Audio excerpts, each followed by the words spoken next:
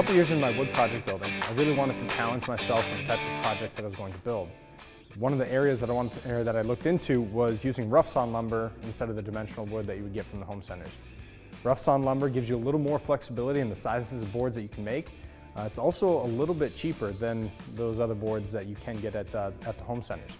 So as we're getting into that, there's a couple things that I want to take note of if you're using rough sawn lumber.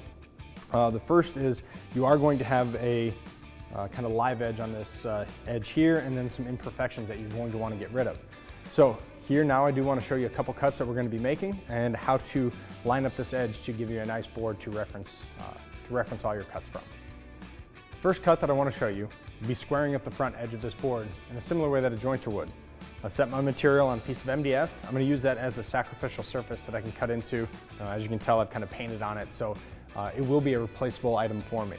Uh, the first thing we're going to do is we're going to grab our track and we're going to place it on the board so that our cut line uh, is back far enough to remove all of those imperfections. My biggest piece here is going to be this piece of live edge, and so I'm going to butt my the edge of that chip strip straight to the edge of that live edge there.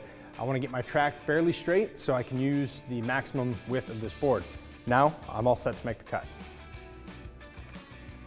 Place my track saw on, adjust it a little bit to make sure that I'm still in line. And now I'm going to start up my saw and make my cut.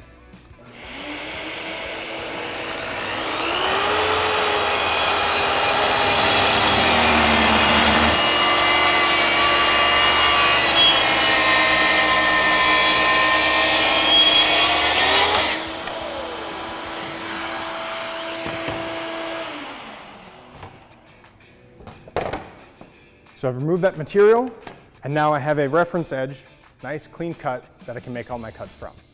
Now the next cut that I'm gonna make uh, is going to be my six inch board. So I'm going to measure six inches and make a mark, making sure that my tape measure is straight when I make that mark. And now I have two reference edges, or two reference marks to place my track directly over those marks and finish off my cut. With that, I'll have a six inch piece of wood that I can put to any project. If I have multiple boards that I want to cut, there's a couple accessories that come with the track saw that you can purchase with the track saw, like the grip guides. What we're going to do is you would set up your dimension uh, at whatever you're looking at, say three inches here. It's going to slide into place. And now you can adjust the dimension and make sure that your board is going to butt up against that rail and be able to cut repeated dimensions at three inches every time I make that cut. Another great use for a track saw is to square up large panel product. So the sheet of plywood that I have here is left over from a different project that uh, may not be as square as it was when I originally bought it. So first thing I'm going to do is I'm going to check that. How we check that is going to be taking di diagonal measurements from each angle and making sure that they're the same measurement. If they're off, that's gonna tell us that our plywood sheet is at a square.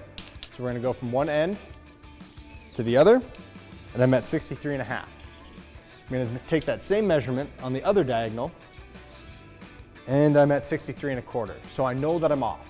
Well, there's an easy way to fix that when you're using a track saw.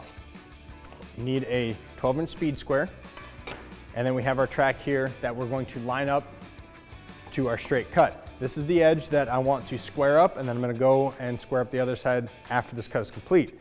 I'm going to use the 12 inch square as a reference guide, so I'm going to slide that over, make sure it's flush against the back side of my square or back side of my plywood, and then place my track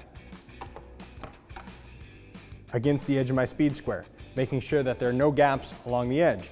Now, this edge that I'm going to be cutting will be nice and square with this back edge here that I'm referencing from. So we can go ahead and make that cut.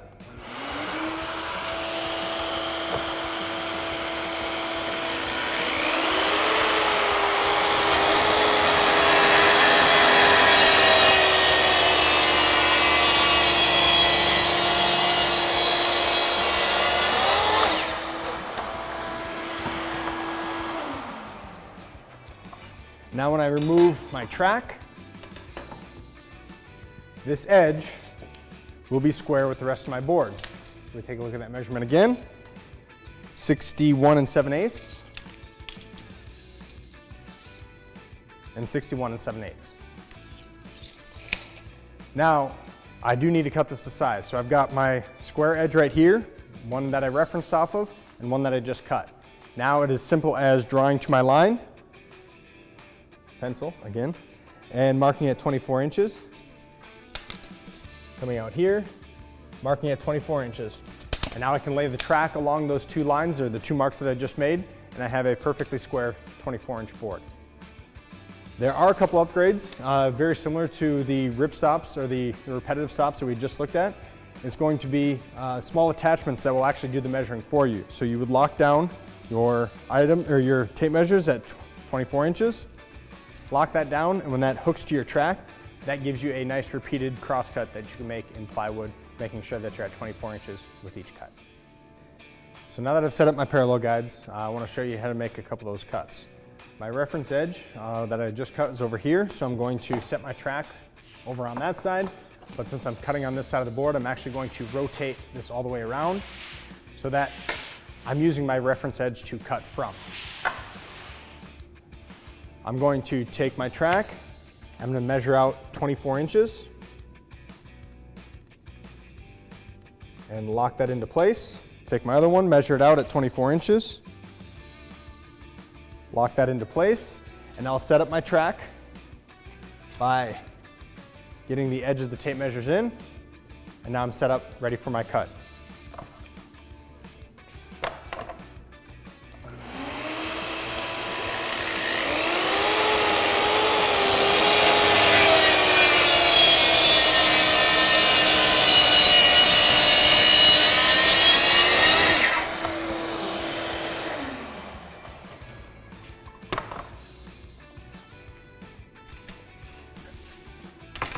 And now here's my 24 inch piece. If I wanted to make another one, I do the same thing, placing my track directly onto my next board.